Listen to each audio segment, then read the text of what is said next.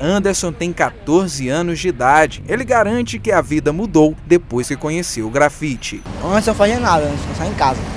Aí tem esse curso de grafite, muito bom isso O Anderson e outros 19 jovens de 12 a 15 anos de idade que moram na Grande Parangaba participam de um projeto que vai pintar todo este muro próximo ao terminal.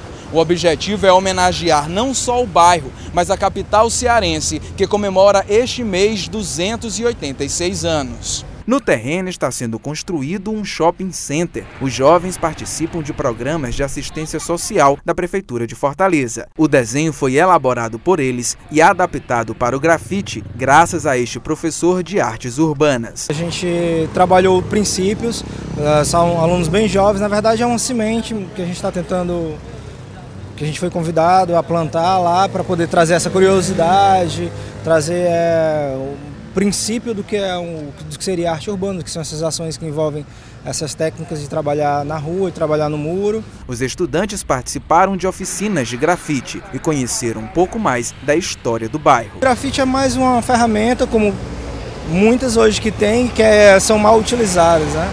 É trabalhar a cultura dentro da própria escola mesmo, acho que isso é, teria que ser um projeto mais é, efetivo. Os moradores da Parangaba aprovaram o resultado. Eu gostei, ficou bem mais bonito, bem mais alegre.